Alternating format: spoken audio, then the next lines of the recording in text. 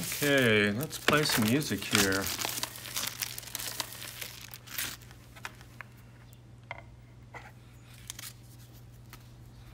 Can't be too careful.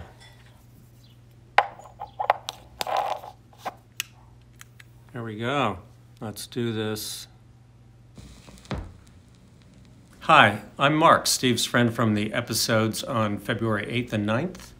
Thank you, Steve, for giving me the opportunity to review this Lino C current mode phono stage, which I got the day after you recorded those videos. If you don't know what current mode is, that's why I'm doing this review, so stay tuned.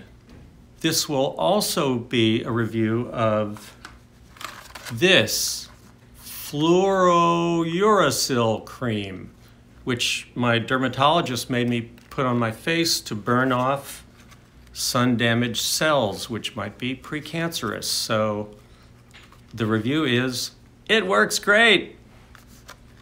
The problem is it looks like I've stuck my face into a yellow jacket nest. So to try to cover that up, I'm gonna wear my favorite cap. At least hide some of that and I'll use cutaways as often as possible. Now, a current mode or transimpedance phonostage uses the cartridge's current rather than voltage for gain. It's another way of getting the gain up to a level your preamp wants to see, which is typically a volt or more. With a low output moving coil like mine, an Ortofon Cadenza Black, which is 0.2 millivolts, a hell of a lot of gain is necessary to get that sucker up to a decent level, which is like 60 to 65 dB of gain, in fact. That will likely introduce hum and some noise in a voltage amplifying phonostage.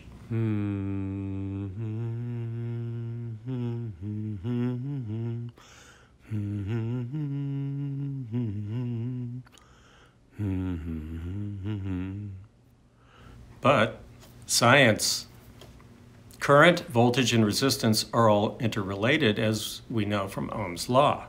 Voltage is equal to current times resistance. And here's where the magic comes in. Sorry, science. A cartridge with low internal impedance can be used by a current mode amplifier, producing much higher voltage after a current to voltage conversion.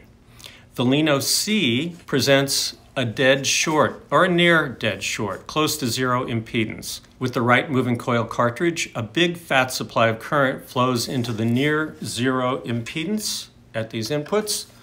The preamp then converts that current into a voltage high enough to feed your line stage, or in my case, a Lynx Hilo A to D converter. A current mode preamp will offer the best signal to noise performance for a low output moving coil. And this is important, will automatically optimize the electromechanical damping. A voltage phonostage requires cartridge loading for damping for most moving coils to track properly and avoid resonant peaks. As you've probably experienced, dialing in cartridge loading for a moving coil is too often a matter of compromises. It's a battle of detail and dynamics on the one side and smoothness and trackability on the other. In the old days, I used to use something like these, which are resistors and a Y connector. This is from DB Systems, Doug Blackwell. Then, after a series of preamps that sounded noisy to me, I got this Sumiko Phono amp. It has a rotary control on the front for setting cartridge loading or damping, and another rotary control for setting gain, and a switch to switch between phono or line input. If you do that, you don't really need uh, a line stage, and that's the way I ran this for many years. It ran straight into my Krell KMA 100 monoblocks, later into a bunch of other amps. And it was shocking how different the same cartridge would sound with different loadings. Loading is almost like a tone control, but not so good, because the damping will also affect dynamics. If the manufacturer recommends 100 ohms and you try, say, 50 or 25, you'll hear that extra damping. It will be smoother, but a touch lifeless. Then if you go high, like maybe 500 ohms, you'll find it lively and detailed, but maybe a little edgy or peaky. You might even cringe in fear every time a loud passage comes on because you know the cartridge is going to misbehave. What's the downside? Not all cartridges have low enough impedance to make this trick work. Rule of thumb, if the manufacturer recommends 100 ohms or less for your load, your cartridge probably will work fine with the Lino C. Another way to check, any internal impedance of 10 and under will work. And if you want to find out what yours is, look on the spec sheet. This Ortofon cartridge is 5 ohms. So it works great. Ortofon cartridges are great. Hana cartridges are great. ZYX cartridges, lots and lots of cartridges will work. The Lino C has three gain levels to dial it in for best match between your cartridge and your preamp. I have mine set for the lowest gain because the Cadenza Black has very low internal impedance. Let's talk about one other thing, balanced connectors. A phono cartridge is inherently balanced, positive and negative pins for each channel. Therefore, your phono interconnect will have lower noise if your cable and preamp keep the signal balanced. Channel D provides either RCA to XLR adapters, so you can use your own cable, or a high quality, properly wired balanced interconnect. In this case, I requested the balanced cable, which you see here. On the back, there are both RCA and balanced outputs. And oh yeah, it's battery powered. It automatically recharges the internal batteries, but when you play music, it's galvanically isolated from your possibly noisy electrical outlet. Before we get into how it sounds, this might be a time for full disclosure. I've been an acquaintance and friend of the designer Rob Robinson since 2011 when I gave a presentation to our Audiophile Society here in New York called Computer Audio for Dummies. I had purchased Rob's software, Pure Music, in order to integrate my Mac Mini into the high-end system and play high-res files. He was very nice in answering my questions, and then he surprised me by expressing an interest in coming to the meeting. Rob was invaluable at my lecture, answering many questions at the meeting that had me stumped. Although we became friends and I helped him with setup and demos at a couple of audio shows, I have no professional connection to Channel D, and I have not actually been in contact with him in the last year, except to buy the Lino C, which, by the way, I paid full price for. The Lino C was $24.99 when I bought it in February. Because of increases in parts, Channel D says the price will go up to $27.99 when the current stock is out. But whether it's 2,500 or 2,800, it's a very good value. If your cartridge works with it, you won't find a better new phono stage at anywhere near that price. So let's play some records. I should mention that I use pure vinyl to both capture some of my favorite records at 24192 and to do RIAA equalization in the digital domain. This is somewhat controversial, which we'll get into. When pure vinyl on the computer does your RIAA, you set the dip switches thusly.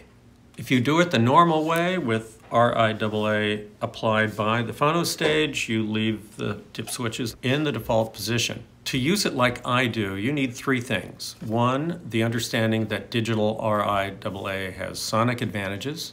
Two, the belief that 24192 lossless resolution is essentially transparent to the source. I think it is. And three, the appropriate A to D converter, otherwise known as an audio interface. Good interfaces can be cheap or expensive.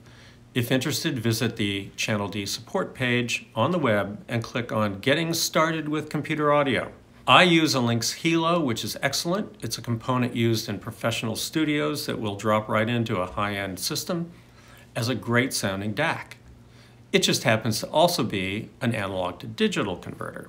It retails for about $2,500 with the USB interface, but can be found cheaper. I bought mine used for $1,500. You could maybe even do better than that. Okay, now back to the music. These are some of the albums I pulled out and I've been playing a lot over the last month while listening to the Lino C. A lot of these albums I've captured with pure vinyl, so I have 24192 recordings of them with previous systems, previous cartridges, previous phono stages, previous cables. So when I'm comparing things that I used to have with the new Lino C, with the new hotness, I have a lot of references that, uh, that don't require my old brain to uh, remember things. Ry Cooder Bop Till You Drop, the first all digital rock record, recorded on a Soundstream 50K sampling. Back in the day when they made a CD of it and had to convert it to 44.1, uh, there was no good way to do that. The CD really sucks, but this LP sounds wonderful.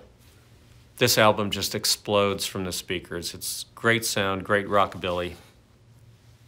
Let Go, Charlie Byrd, one of my late father's favorites. This is actually from his collection. It's from a 1969 live gig at the Hong Kong Bar in LA, I believe. The Ellington medley is sensational. Vivaldi lute concertos. I really like my Vivaldi to sound dynamic and passionate and full of energy like it's supposed to, not like you're used to hearing it. Duke's Big Four, one of my favorite albums, a great system check, great test of timbre, sound staging, wonderful music. This for Duke, I have captured uh, a bunch of times. Um, it's a wonderful recording, really a good system test. For audiophiles who think this isn't music, get over yourself. It's great. You owe it to yourself to occasionally pick out some hip hop and listen to it. Okay, one quick comparison.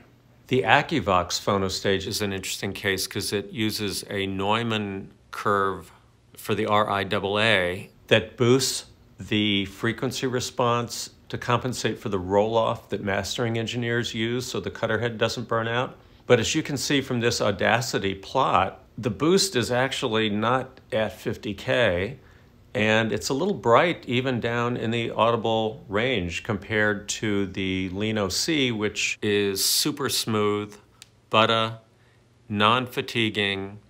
It's dynamic and lively, and it's got lots of detail, but when I play LPs now, I just sit back and relax because I know the sound is clean, the cartridge is loaded properly, I don't have to worry about that, and uh, it, these days, a little relaxing and stress-free sound is uh, very helpful for the psyche. I just want to say that this is really hard. One of the reasons I'm doing cutaways is not just because of the spots on my face, but because I need the cutaways to cut out my stumbles and stupidities.